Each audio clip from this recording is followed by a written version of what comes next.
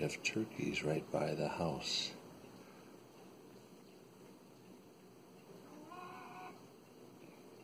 They are right here.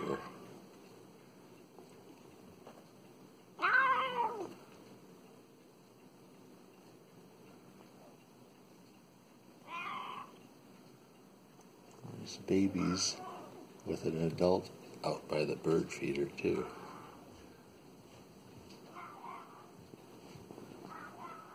Down.